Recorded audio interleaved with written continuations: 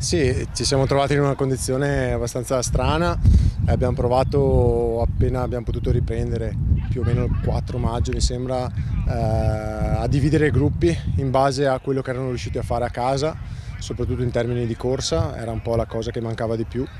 E abbiamo diviso il gruppo in tre sottogruppi e abbiamo fatto un lavoro progressivamente più di,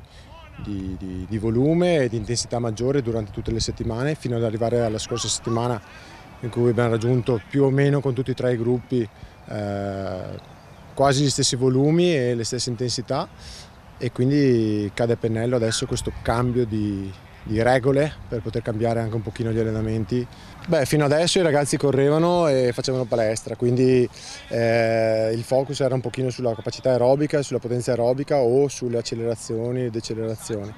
Adesso faranno la stessa cosa e ogni tanto utilizzeranno il pallone utilizzeranno degli, degli, esercizi con gli allenatori o mh, dei giochi, dei fitness games chiamati in cui faranno la stessa fatica di prima se non di più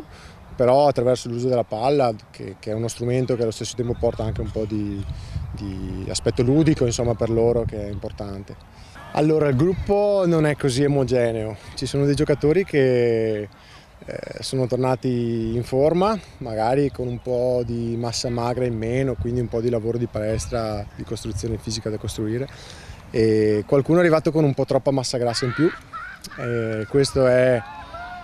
normale all'inizio, ma adesso bisogna cominciare a cambiare un po' la tendenza e bisogna abbassare questa massa grassa soprattutto. E, però insomma abbiamo tempo e abbiamo possibilità di, di sistemare tutto quanto. Abbiamo fatto degli step eh, con eh, adesso la sesta settimana,